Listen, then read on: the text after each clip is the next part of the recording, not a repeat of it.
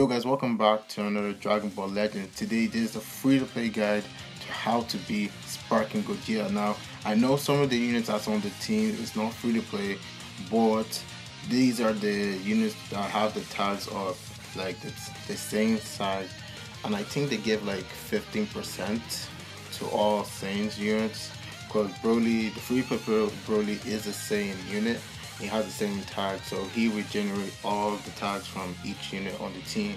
Now you can only bring one unit to the to the fight stage which is the Broly units. So you can bring either the blue LR sorry wow the blue legendary Super Saiyan Broly or the newest uh, Super Saiyan Broly from Dragon Ball Super Super movie or the free to play Broly that I have right here on the gameplay. Now the reason why why I have this guy is because I don't have two of the the units that's on the banner. Uh, also, that I think the blue Saiyan Broly won't be able to beat this guy because he's a blue type. So you already guys know about the disadvantage of the types. So the reason why Fury Broly is better than you know the blue one is because he's free to play. He's easy to obtain, like easy to get his soul boost up to maximal potential and he can also hit a bit hard. Well, in that fight, I was trying to like, you know, figure out how to beat this guy. In the later stage, I just brought my Ultimate Arts card and my special move together just to, you know, inflict more damage.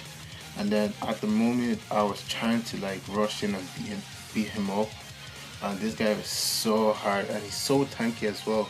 So yeah, that's why you need to fully max out Broly because it's very important and that's why that's how you're able to beat this event. But you can replace some of the units that's on my team. Like you can bring like the yellow Bardock, the Nappa, or the the Raditz. That's like I think they're up every day.